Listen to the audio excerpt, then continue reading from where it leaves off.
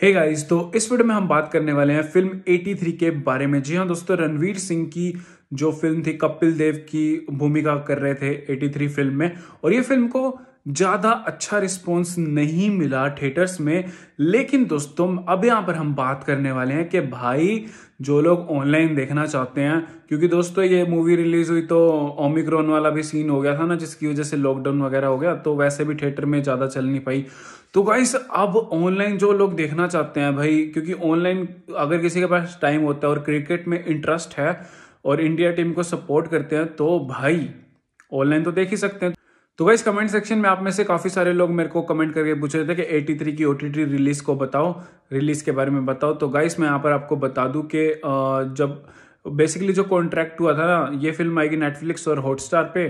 तो नेटफ्लिक्स पर हिंदी में आएगी और हॉटस्टार पर बाकी जितनी भी लैंग्वेज है उसमें आएगी। और जो भी कॉन्ट्रैक्ट हुआ था, वो आठ वीक के गैप पर हुआ था कि जब सिनेमा घरों में रिलीज़ होगी उसके आठ हफ्तों बाद ओटीटी पर आएगी।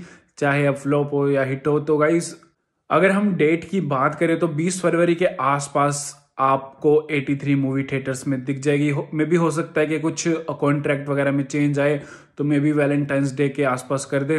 लेकिन दोस्तों, अभी जो भी मतलब न्यूज़ है, अपडेट है, सबको मिला जुला कर बीस फरवरी के आसपास ये फ़िल्म रिलीज़ हो जाएगी।